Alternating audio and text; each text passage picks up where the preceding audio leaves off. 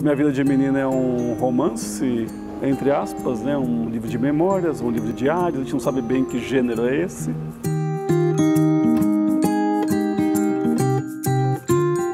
A Helena Morley, ela chamava na verdade Alice. Quando menina teve uma, uma vida talvez mais simples, mas depois que ela se casou, né, quer dizer, já no século XX, ela tem uma vida, digamos, um pouco mais aristocrática. Embora seja um livro da menina, Helena Morley, essa possibilidade de ela ter mexido ou não um pouco nas histórias mostra várias visões das classes sociais que ela mesma percorreu. A gente expande a literatura para além dos moldes clássicos, chamados clássicos, convencionais, formais, etc., o que permite a gente também a sair não só do cânon brasileiro, mas ir para outros países, pensar em Pepetela, por exemplo. Quer dizer, obras que a gente tem acesso a realidades de outros pontos de vista e perspectivas de uma menina, supostamente, ou mesmo de uma mulher que intervém um pouquinho, talvez, nessa escrita feminina e também tenta harmonizar esse mundo pelo viés literário.